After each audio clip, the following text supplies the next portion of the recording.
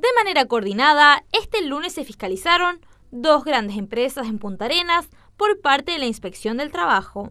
A nivel nacional se programó un proceso de fiscalización a 467 locales del sector comercio, retail y supermercados, en que en forma simultánea a las 12 del día se iniciaron estos procedimientos. En este caso, la fiscalización se inició al mediodía en el supermercado Líder y en la tienda o la multitienda Falabella.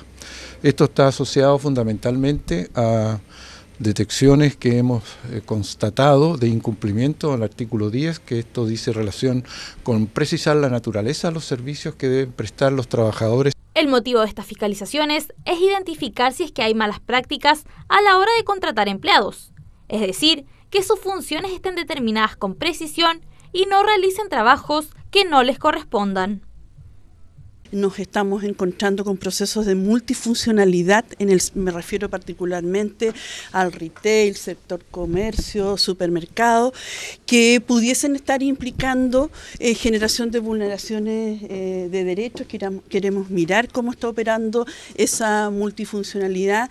Sabemos también que ha ido aparejado, por cierto, también a pérdidas de empleo.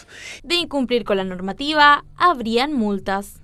La fiscalización y el cumplimiento y la constatación establece multas que pueden llegar hasta 60 UTMs por ser empresas de más de 200 trabajadores.